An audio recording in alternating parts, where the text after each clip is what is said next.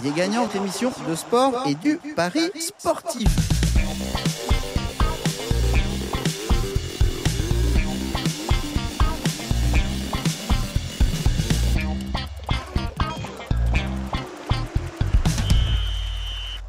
Bonjour à tous et bienvenue dans Parier gagnant, votre émission de sport et du pari sportif. Euh, bonjour Benoît. Bonjour à tous. Alors cette semaine, on va revenir avec vous sur la Ligue des Champions. Et ouais, on revient sur la Ligue des Champions parce qu'il y a eu des résultats hier soir peut-être un peu surprenants. Oui et non. Oui et non, d'accord. Bon, ben on en recausera. Bon, toujours est-il qu'il y a des résultats. On est arrivé à la moitié de, de cette phase de poule et on va peut-être un petit peu réfléchir, euh, peut-être réajuster, se poser des questions peut-être sur les, sur les paris long terme et le vainqueur euh, définitif de la compétition. On peut vous parler aussi de, certains groupes. euh, Il y a, peut-être des, des petites choses à, à dire et euh, donc on va faire tout ça. Ça marche. Alors on va revenir aussi sur la prochaine journée de Ligue 1 parce que bon c'est une journée classico donc euh, tout le reste passe à la trappe. On va causer forcément que de Marseille Paris Saint-Germain, c'est ça? Il y a des classicos partout. Ouais, oh, il y a un autre gros classico. euh, euh, après euh, voilà. Oui, oui, oui, oui, oui. Mais sur deux championnats sur cinq, c'est pas mal. Et il y a des gros matchs un peu partout. On, on- on verra si, si on y revient sur, sur tout ça. Et ben ouais, oh, bah forcément. Le, Bar- le Barça Real, on est obligé d'en causer. Un petit peu. Obligé, obligé, obligé. Et on aura aussi de temps en temps avec nous par téléphone, on aura Damien. Salut Damien. Salut, salut à vous deux, ça va? Ben ouais, Bah, très bien. On, on change les rôles. C'est euh, toi qui n'étais pas Ouais. dispo aujourd'hui. Donc euh, voilà. Et on Damien, tourne. avec toi en fin d'émission, tu auras un petit prono et ce sera forcément un prono sur quoi? Sur du MMA. Ah bah voilà, forcément. Voilà, avec euh, du Boris Noum Nourmagadov, c'est ça? Non, franchement, c'est facile aujourd'hui, c'est facile. Ah, À prononcer. c'est bien. Ok, Ouais. ça marche. Bah, merci Damien, t'as pensé à nous, c'est cool. Et on va commencer tout de suite à évoquer la Ligue des Champions, donc avec la question du pari long terme sur le vainqueur de la compétition. Alors euh, Benoît, imaginons, mettons-nous en situation, tu as parié en début de saison sur le PSG et, euh, et l'Atl- et l'Atlético, pardon, de Madrid. Ah, c'est si. Oui, Ouais, parce que je n'ai si. pas du tout fait ça. Oui, bah justement, c'est pour ça. Heureusement. si. Parce que, Alors, non, non. alors, dans quel état tu serais ce matin? Alors si euh, j'avais joué sur PSG Atlético de Madrid, euh, pour l'Atlético je m'en ferais pas trop parce que euh, voilà j'ai lu un peu ce qu'a dit euh, Simeone à, à la fin du match. L'année dernière aussi ils avaient pris une, je crois une tôle à un des matchs dans, dans, dans la poule. Hein, ouais. Bon, ce, ça- qui, ça- ce qui les a emmenés vers tout droit vers la Ligue Europa.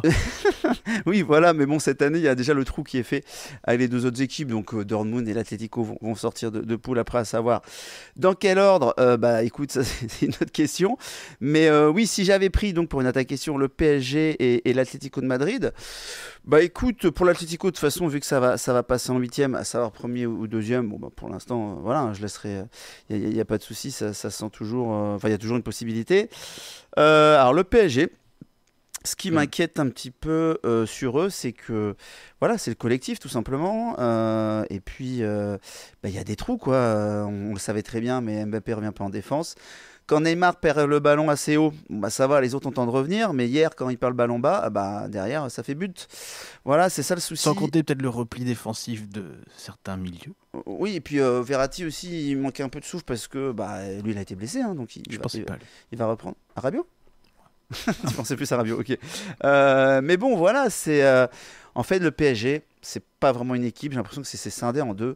Euh, alors que Naples, t'as vu une C'est équipe. ça. C'est une équipe qui, qui joue tous les week-ends le All-Star Game. quoi. Mais. C'est non. les Harlem Globetrotters du championnat de France. Après, au niveau européen, c'est plus Il compliqué. n'y a, C'est il y a- ça il y a pas une équipe en, en France, euh, euh, à part le PSG, qui, qui peut, qui peut jouer contre Naples. Enfin, voilà. Euh, Bon, Lyon, Lyon peut-être, ça, peut faire, ça peut s'accrocher. Euh, Marseille, compliqué. Bon, après les autres, on n'en parle pas. Euh, mais Naples, tu vois que ça fait très longtemps qu'ils jouent ensemble. Enfin, très longtemps, ça fait moins 2-3 ans que les, joueurs jouent ensemble. Tu, vois là, tu vois que c'est huilé, que ça tourne. Il n'y a, pas de souci là-dessus. PSG, c'est pas encore ça. Et puis de toute façon, bah, on m'enlèverait pas de la tête que tu peux pas gagner la Ligue des Champions en ayant des latéraux comme PSG euh, a. Euh, J'aime bien Meunier, mais il est offensif plutôt que. Et puis Bernat, bon, voilà. J'aurais pu trouver autre Mm. chose quand même.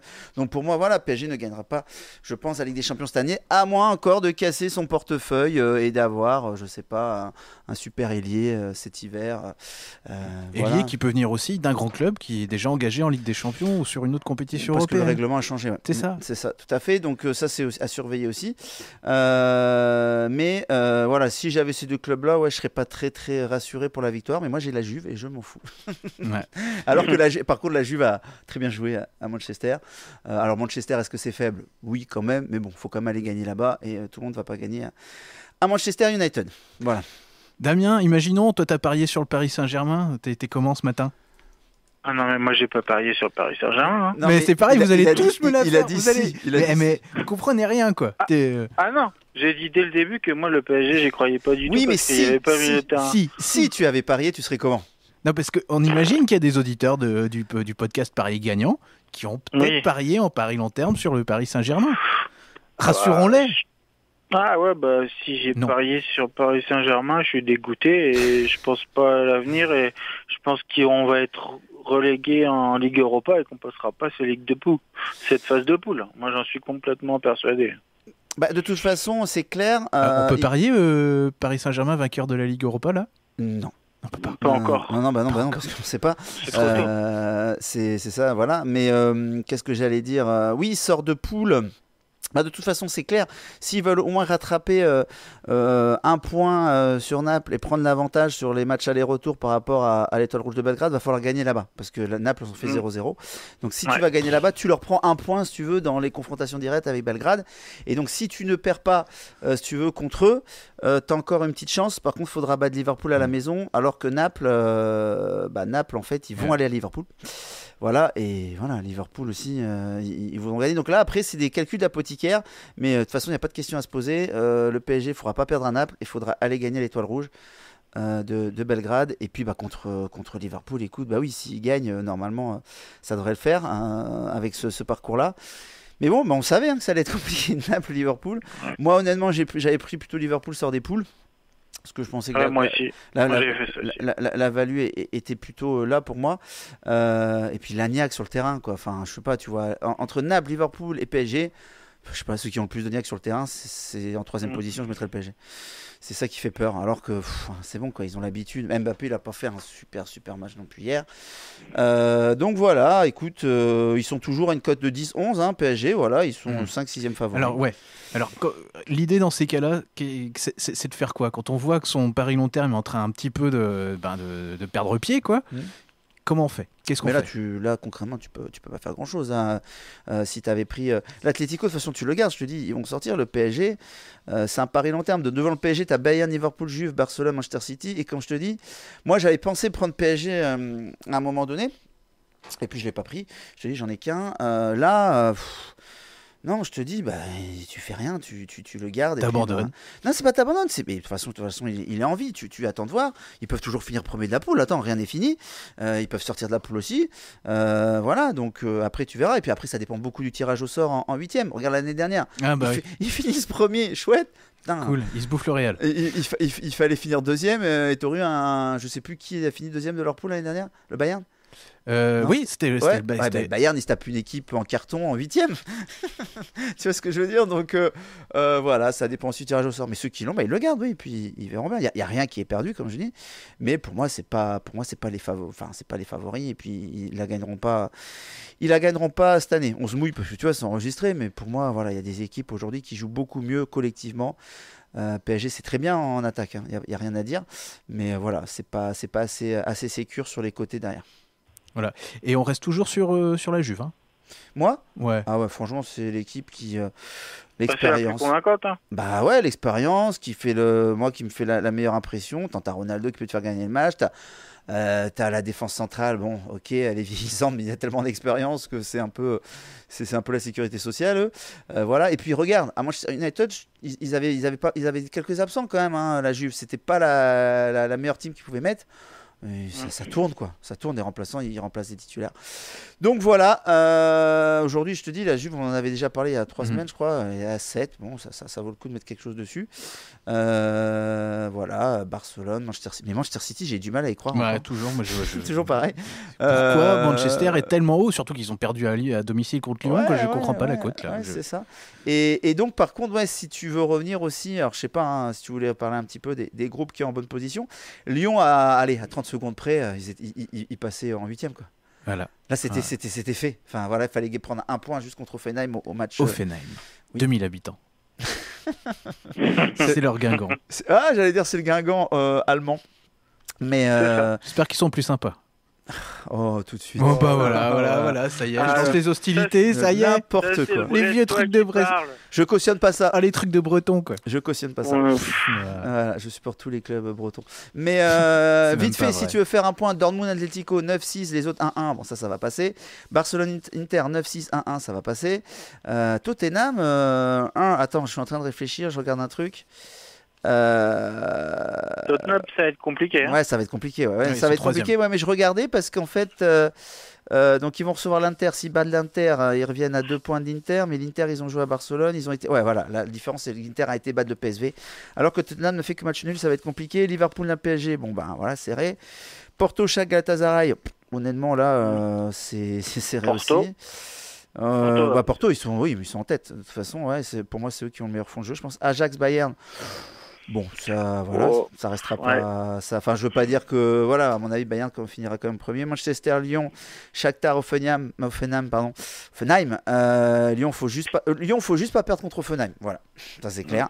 Euh, faut au moins prendre un point. euh, et puis, et puis, je pense que ça peut passer. Rome, Real, Moscou. Voilà, ça va être quand même. Real, euh, Rome. je pense que ça va, même si Real, c'est pas stop en ce moment, et puis Juve vont finir premier. Après, il y aura la, la bagarre pour moi entre Manchester United et Valence. Voilà, Ouais. à voir ce que ça peut, ce que ça peut donner. ouais, Et ouais. question, euh, on, on avait, on croyait avoir un nouvel essor du football russe après la Coupe du Monde. Ils sont où les clubs euh, russes en Coupe d'Europe là? Ah bah, ils sont euh, derniers du groupe D et avant-dernier du groupe G. du groupe G, voilà. Voilà, Euh, bah écoute, euh, Et dire que leur meilleur élément, Golovin, s'est s'est expatrié. et- Euh, oui, à Monaco, et pour l'instant, bon, il, il reviendra, mais. euh, euh, et euh, petite, euh, enfin, petite info euh, ceux qui mènent pour l'instant le championnat russe, hein, on n'en parle jamais, euh, c'est les Zéniths. Voilà. C'est eux qui mènent le championnat russe, mais bon, pareil, eux ils sont montés sur courant alternatif. Hein. Ah, moi je croyais que c'était Ouais. sur gaz. Zénith, euh, Oh. Zénith Saint-Pétersbourg, euh, voilà, ils ont 6 points d'avance, mais euh, euh, ils sont capables de choses bizarres comme d'aller perdre à Lamzi Machkashkala. Ouh, ça fait longtemps qu'on n'en a pas parlé de ça. Ouais, Où il y avait Samuel Eto'o. et Samuel. Eto'o a pas joué là-bas.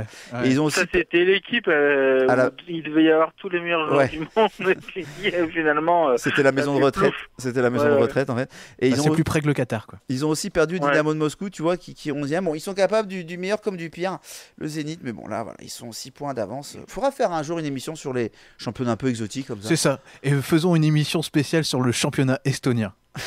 Hein le Non, parce championnat que d'Estonie, Kazakhstan. ça aussi. intéressera pas les gens. Mais dites-nous, euh, ouais, russe, euh, euh, bon, Ouais, belge, belge, l'année dernière, on en a parlé un pas Il y a mal. des spécialistes du foot de l'Est. La Suisse avec Guillaume euh, Waro à, à- à Young Boy de Berne, tout ça, ça, voilà. Ah, mais a- tu rigoles, je- on rigole avec le football euh, du Kazakhstan, mais euh, Rennes a été perdre là-bas. hein. Chez Astana, ouais. ouais, Rennes ils perdent partout c'est bon. Arrêtez Ah, pas. on a dit, on a mis un taquet à Guingamp, on va pas mettre un deuxième à Rennes. hein. Non non Rennes c'est pas parce que c'est breton ou pas parce que je trouve que c'est une équipe inexistante qui sert à rien Ah bah, dis donc. Non. Je ne cautionne pas non plus. hein. non, Je préfère dire.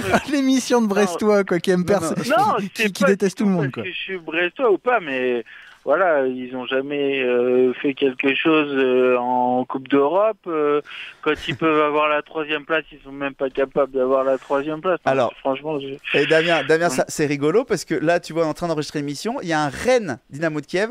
Si Rennes bat Dynamo de Kiev, bah tu seras obligé de Ouais, retirer ce bah, que tu as vous dit. allez allumer moi si vous voulez. Voilà. Donc ceux qui écouteront la radio, vous aurez le score de Rennes Dynamo de Kiev. Voilà. hein. D'accord. Hein ça peut être rigolo, ça, en commentaire. Ah bah c'est bien. voilà. Bon, on parle Et de vous Rennes. allez m'allumer et je serai content, je vais rigoler parce que je me serais trompé. Mais je vais pas me tromper. On verra. On parlait de. Rennes justement, bah c'est bien, tu nous fais la transition pour revenir euh, dans, nos- dans nos- dans nos petits souliers, pour revenir en France avec la Ligue 1. Euh, forcément, la Ligue 1 va être mise sous le feu des projecteurs au niveau mondial avec notre beau classico qui va au Vélodrome. L'OM reçoit le Paris Saint-Germain. Bon, allez, on en cause tout de suite parce que tout le reste, il n'y Allez, a, rien à- y a, rien à- pff, y a rien à en tirer. Là. On, Allez, allez. on- on- on en parlait même en préparant l'émission. On voyait les côtes là, de ce Monaco-Dijon. Côte infâme de 1,60 pour Monaco. C'est horrible. Comment peut-on faire des choses comme ça? C'est incompréhensible. Euh. Voilà. Bon, va- c'est parce que le meilleur joueur de Dijon, il s'est claqué. Ah bah, bah oui. hein, Johan. hein. hein, bah oui. Mais, euh, non mais je rigole. eh, mais l'autre le jour, je suis retombé sur son pion contre la Roumanie pendant les éliminatoires en 2008. Il était beau ce pion. Ouais. Hein. Et bah, Hein. d'ailleurs, en frappant, il s'est pas claqué. C'est c'est bizarre quand même. Il était jeune. Hein ouais, c'est ça. Il était en forme. Euh, non, Marseille-PSG. euh, je rappelle juste l'année dernière que PSG a arraché le match nul à la dernière seconde sur un super coup franc. Ça vous, ça vous parle, ça vous parle pas? Ouais, Mais oui. Euh, Et je vois pas hein, PSG aller perdre cette année à Marseille. Franchement, je- j'ai j'ai Non. vraiment du mal. Ouais, puis Euh. Marseille va jouer bah, aujourd'hui, jeudi, donc euh, il va y avoir de la fatigue. Voilà, aussi. il y a un écart entre les deux équipes énorme quand même. Oui, oui, ben, oui, j'ai- j'ai- j'ai- oui, on est tous d'accord. Euh, voilà, je les vois pas perdre. Euh, bon, sur les hors Argel, euh, vous avez du, du, du- du PSG à un moment donné à 1,19, 1,20. Voilà, mais dans un combiné, ça, ça peut le faire. Euh, en Argel, ça sert à, rien parce que c'est beaucoup trop bas. Mais euh, voilà, Marseille, PSG, écoute, je crois Mm. que Tovin revient, il rejoue là. Enfin, ils ont mis une grosse team là contre Ouais. Lazio. Ils vont mettre la grosse team contre la Lazio, donc à voir. Ah, ah, sur... Alors voilà, ça c'est un conseil. Il y a un Marseille-Lazio. Euh, Garcia met sa Mm. grosse team. Surveillez, parce qu'on sait jamais, dans le match, il y a deux blessés, euh, des choses comme ça. Euh, voilà, imagine que euh, en défense centrale, ils perdent deux, deux défenseurs centraux, que Luis Gustavo est pas là, euh, des choses comme ça. Bon, ils ont été faire un, un- un- ils ont été gagnés à Nice le week-end dernier. Je les voyais absolument pas gagner à Nice, mais ceux qui ont suivi le match et tout ce qui a été dit d'après, bon, c'est pas mérité. Voilà, ils ont eu un, un tir cadré, un but, mais ça arrive. Donc euh, Euh, Écoute, il n'y a pas de value non plus à prendre le PSG à 45. Hein. Voilà, parce que ça peut très bien finir en match nul, ça. Puis le. PSG, il- voilà, match nul, ça, ça leur conviendrait très bien. Donc, Ouais. euh, bon, voilà, je sais pas ce que tu en penses, Damien. Non, moi, ce que j'en pense, c'est que le PSG va être revanchard surtout parce que, à mon avis, là, ils se sont fait allumer dans la presse euh, pour le match de Naples. Euh, Voilà, l'idéal pour se relancer et pour montrer autre chose, c'est gagner à Marseille. La motivation, elle va être, euh, Aussi, je elle pense. va être énorme. Et puis, ils ont trois, trois gros, quoi, je crois que là, en trois semaines, ils ont quatre gros matchs. Ils doivent puis- jouer Monaco aussi. Ils doivent jouer. Ils ont Lille, Lille le prochain match à la maison, Ouais. donc Lille est troisième, Voilà. De- depuis Ouais. quelques temps, je sais pas si vous avez observé ça aussi, à, la communication, à chaque fin de match, c'est on, tape, on essaye de taper le vieux record qui date des années 30, machin truc ou je sais pas quoi. Là. Ouais, ouais. Ouais. Ils sont dans ce trip-là, là, Ah oui, histoire d'avoir un peu de motivation. Donc, euh, taper ce vieux record qui date euh, de, de l'entre-deux-guerres, là. Mais bien sûr, ça peut. Voilà, mais bon, tu sais, les joueurs pro, euh, est-ce qu'ils sont motivés par ça? Je suis pas Ouais. sûr. Bon. Surtout Neymar, je vois bien Neymar. Ouais, les gars, on va taper le vieux record. Non, mais euh, après, c'est clair qu'ils s'en battent les, les cacahuètes, Ouais, hein, on est d'accord. Mais euh, j- c'est un argument qui ressort à chaque fin de match, à Bien moitié sûr. en mode, communi- enfin, en mode communication. Quoi. Donc tu te dis, à un moment donné, ils s'engagent aussi. Quoi. Bien sûr, bien sûr. Euh, valorise le club. Donc, euh, Mais bon, voilà, sur ce match-là, bon, on peut pas, on va pas dire euh, d'autres choses. Hein. Bon, euh, c'est, il y a pas Mm. grand-chose à dire, malgré que ce soit le classico. Après, s'il y a quelques infos Lyon, c'est pas sûr que Fekir revienne contre Angers. Euh, Mm. Il va peut-être sur le banc, il rentrera peut-être en cours de match. L'effet Vaïda Ilodic pour Nantes, est-ce que ça va durer? En tout cas, ça Amiens, marche. pas sûr. Est-ce que ça va durer? On verra. Non, mais ça marche. Euh, bah, il y a une bonne réaction à la maison, mais ils ont pris une branlée quand même à Bordeaux, au match, le premier match. Euh, Guingamp-Strasbourg, euh, écoute, euh, j'ai du mal à voir Guingamp perdre, mais Ouais, bon, ils sont, on ils sait sont- pas. ils sont capables. Euh, Lille, Ils sont encore un peu malades. Voilà, c'est ça. Lille va gagner. Monaco, Dijon, euh, euh, Monaco, Dijon. putain, Monaco, mais j'y crois pas. Mais bon, en même temps, Dijon sont. En fait, c'est simple. Les deux là sont sur quatre défaites d'affilée. Donc, euh, quand c'est comme ça, on ne touche pas à grand chose. Ouais. Toulouse, Après Montpellier. Monaco, si je peux revenir, Monaco quand même, ils ont été intéressants quand même hein, sur le match qu'ils ont fait à, À Bruges à Offenheim. Mais à Ouais, Bruges, à euh, Bruges, à Bruges. À Bruges, Ouais. pardon. Mais de toute façon, Ouais, ça va, ça va. Pour moi, voilà, ça, ça va revenir euh, petit à petit. euh, voilà, dans, dans la deuxième partie de tableau, je pense, je sais pas quand, mais voilà, ça, Monaco, ça finira pas euh, de la, entre la dixième et la vingtième. Ça finira plutôt entre la dixième et la et la, et la cinquième place, à mon avis, un truc comme ça. Mm. Donc, et puis surtout qu'ils vont sûrement faire un sortir le chéquier à Noël. Parce qu'ils ont Ouais, compris qu'il pense. fallait pas descendre. Mais bon, euh, non, franchement, là, il y avait rien qui, qui m'inspirait. Moi, j'ai- je suis allé ailleurs, euh, regarder un Allez, peu, mais- vas-y. Annonce parce qu'on n'a pas. enfin, je, je- je- je suis allé ailleurs regarder, euh, voilà, pff, mais il n'y avait pas grand chose qui m'inspirait, mais euh, voilà, il y a une équipe que je suis, c'est c'est la Fiorentina en, Ah, je m'en doutais. en Italie, ils vont, ils vont jouer au Torino, ils vont jouer au Torino, et euh, voilà, j'aimais bien, donc ils sont outsiders au Torino, Euh, j'aimais bien en fait euh, la cote euh, du drone Nobel, je crois que vous avez du, du 1,90. Euh, je crois que c'est quelque chose comme ça. Et la double chance, quand vous faites de la double chance artisanale, euh, vous, Vous référez aux anciens podcasts. vous arrivez, euh, mais je, crois, je suis pas sûr que j'avais dit la double chance euh, Non. artisanale, mais je Tu avais fait un truc artisanal. oui, mais pour, le, plus. pour les drones aux bêtes. Et donc, voilà, je vois, je vois la, la Fiorentino au moins aller prendre un, un point, un point, comment j'allais dire, au, Torino. Alors la Fiorentina, ceux qui vont regarder les stades vont dire, euh, Benoît, ils sont nuls, la Fiorentina à l'extérieur, ils ont fait 4 matchs, un nul, 3 défaites. Ok, ils ont perdu 1-0 à Naples, ils ont été faire match nul à Sampdoria, ils ont perdu 2 à l'Inter et perdu 1-0 à la Dio. Donc bon, voilà, c'était trois gros du championnat italien. Donc voilà, là je pense qu'ils vont commencer à prendre des points à l'extérieur. Pour moi, c'est une équipe qui doit finir top 6, top 6 italien cette année. Et euh, le Torino, bah, le Torino à la maison. Voilà, ça reste, euh, voilà, ça reste, euh, c'est 15e hein, à la maison. ça perd contre Rome, ça gagne contre Spal, ça perd contre Naples et ça gagne contre Frosisone qui est avant-dernier, juste 3-2. Voilà, je, vois vraiment au, minimum un match nul pour, la Fio. pour moi, c'est quand même meilleur que, que, le Torino. et je vous rappelle qu'au Torino, attention, il y a Sirigu dans les buts et Nkoulou en défense centrale. Pour ceux qui se rappellent. Ah là, ça rigole plus. Euh, c'est du lourd. Ah, les mecs, ils se font un classico eux tout seuls. Hein. Mmh, c'est du lourd. Euh, voilà. Après, à la FIO, hein, on a avéré tout. Hein, pour ceux qui connaissent aussi un petit peu. Mais c'est un peu plus technique euh, voilà, que, ce que j'ai cité avant. donc voilà, moi je partirai là-dessus. j'ai pas vraiment. Eu de, grandes convictions là. Je reviens aussi sur le Toulouse-Leinster parce qu'on m'a posé la question. Bah, écoutez, Leicester gagné de 6 points. Ils se prennent un essai euh, euh, grâce à une interception. Bon, voilà, ceux qui ont vu le match euh, un peu inespéré et, ils gagnent le match d'un point. Donc voilà, aucun regret, comme je dis, Leinster. C'était un consensus de tout le monde. tout le monde les voyait gagner et la beauté du sport fait que voilà, ils ont perdu. et je ferai juste aussi un rappel. moi, j'y étais pas allé et, j'avais rien dit sur, sur, les autres trucs, sur les autres matchs. Mais voilà, tout le monde voyait aussi comment j'allais dire, euh, bah, Toulon. Euh, Toulon, par exemple, faire, faire quelque chose, euh, faire quelque chose, on va dire, ce, week-end-là. et voilà, bon, ils sont pris une grosse branlée à Édimbourg. Cardiff, tout le monde les avait mis gagnants. Ils ont perdu contre Glasgow. Et Montpellier, que les gens voyaient à Newcastle, ils ont pas eu Newcastle. Donc voilà, ça a été un, un dimanche à, surprise. Euh, bon voilà, ça arrive. Euh, et euh, on verra pour la prochaine journée, il y aura des choses à faire que j'ai déjà repérées. Et on vous dira ça, mais ce ne sera que début décembre pour les prochains matchs de Coupe d'Europe de rugby. Et un petit mot peut-être sur le Barça Real? On, en parle. Et la MMA de Dams aussi. Ça va venir après. D'accord. Je fais une coupure, tu vois, tout, tout le foot. Bon, t'as parlé un peu rugby, mais on fait foot, et puis après, euh, sport euh, de contact qui fait mal à la tête. Pour ceux qui suivent pas, bon, bien sûr, Messi est blessé out, hein, mm. d'accord. Euh, forcément, ça, ça, va jouer. On l'a vu tout plâtré hier. Ouais, mais ça n'a pas empêché Barcelone de battre l'Inter 2-0. Assez, mm. assez, proprement. Voilà. Donc ils peuvent quand même gagner des matchs. Et puis le Real, écoute, bah, Real c'est vraiment sur courant alternatif aujourd'hui. Après, après, ça reste toujours un, un, classico. Euh, donc voilà, forcément tout le monde est motivé, mais euh, ouais, c'est très compliqué. C'est pas très intéressant. Bah, c'est du tout ce match-là. C'est illisible. enfin moi, pareil, c'est un match, il peut tout arriver, donc. Euh, mm. voilà, quand c'est des matchs un peu. Alors, les, les, les supporters de Barcelone vont dire Mais non, personne va gagner. Real, ben non, mais on peut aller prendre un point.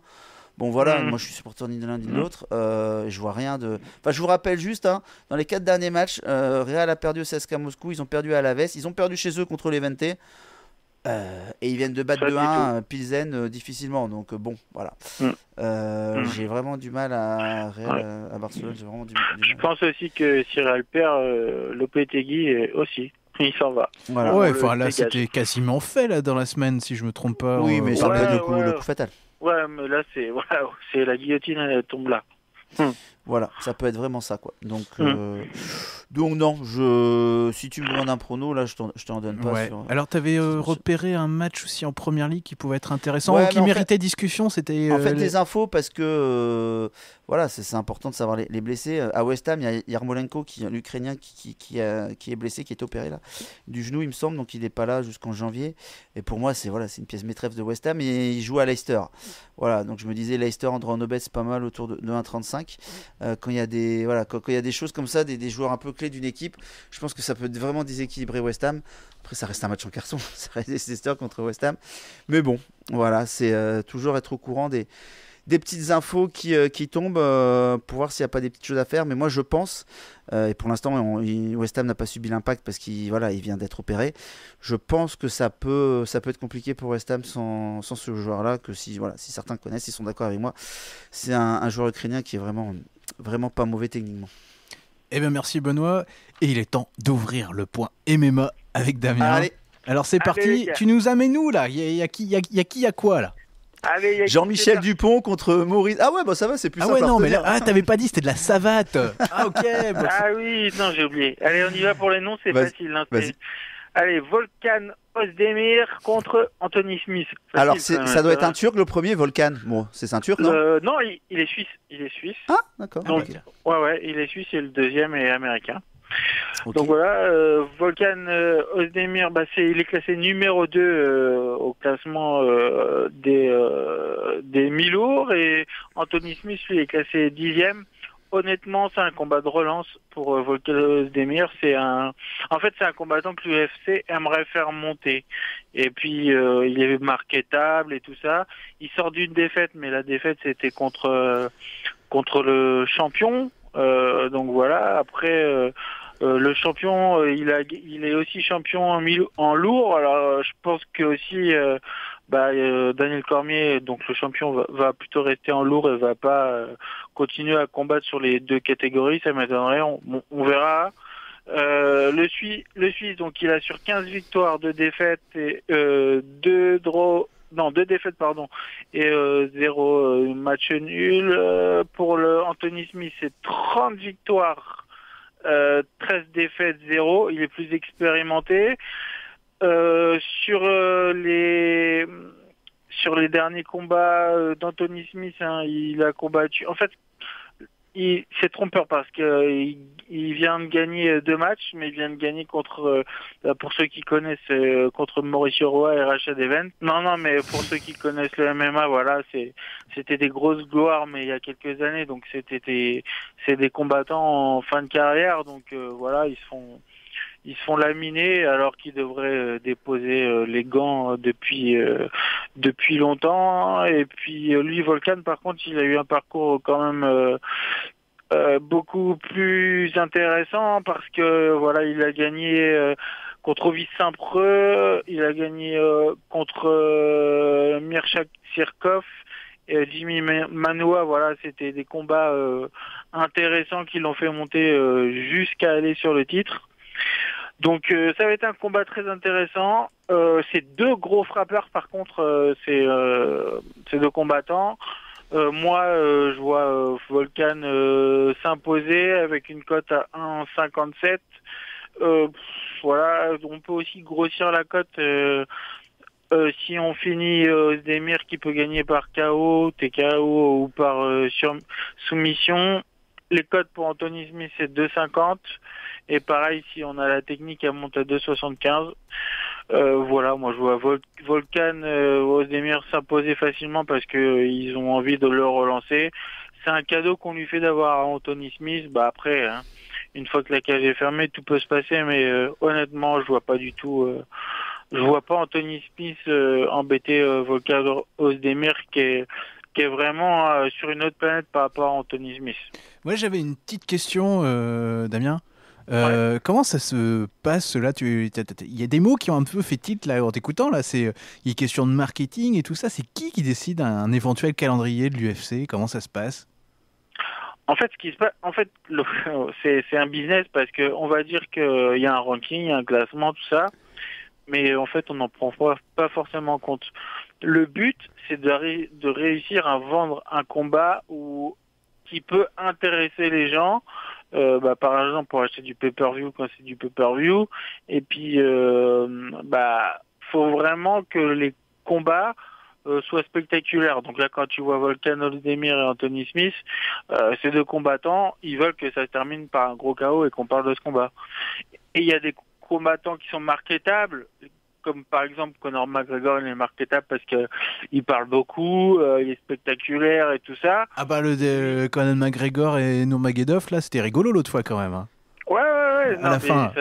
Après, ça part en n'importe quoi. Ça part un peu comme du catch et tout. Ça commence à m'énerver. Et ça, l'UFC, la cherche quand même. Elle est friande de ça. Ouais, voilà, voilà, c'est ça. Donc, euh, le but, en fait, le but, c'est d'essayer de faire. Euh, ils ont besoin de vedettes. L'UFC, de tête de gondole qui font vendre. Et je pense que justement Volcan Ozdemir, il a ça.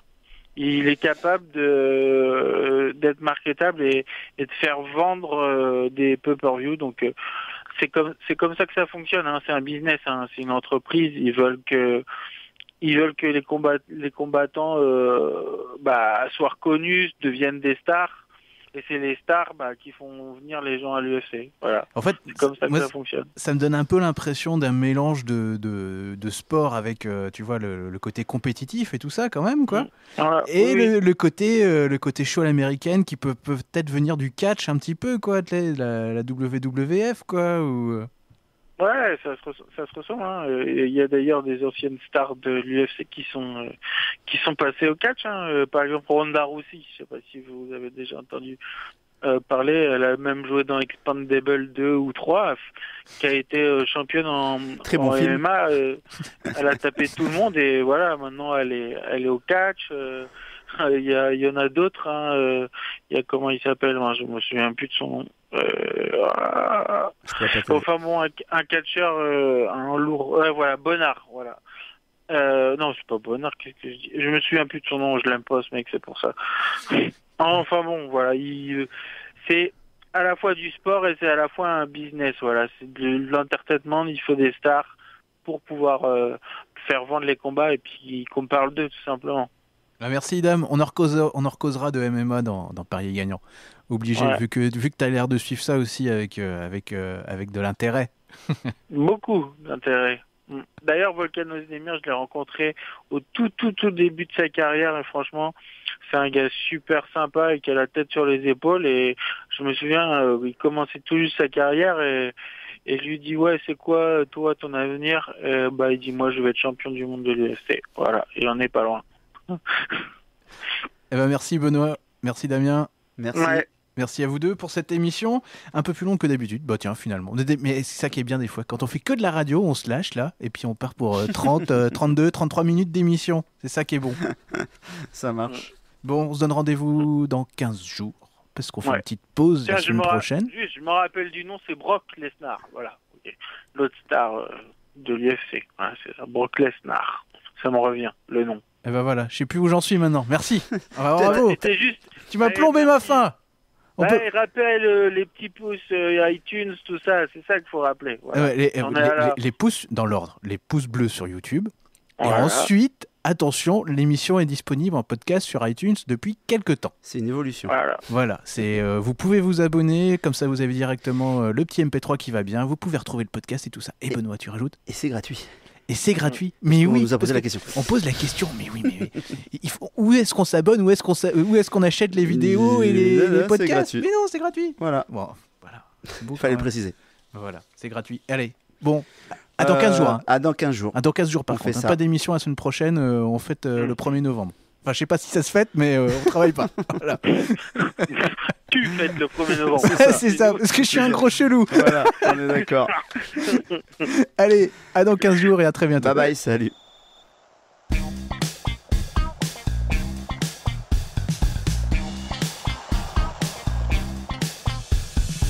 Parier gagnant, émission de sport et du pari sportif.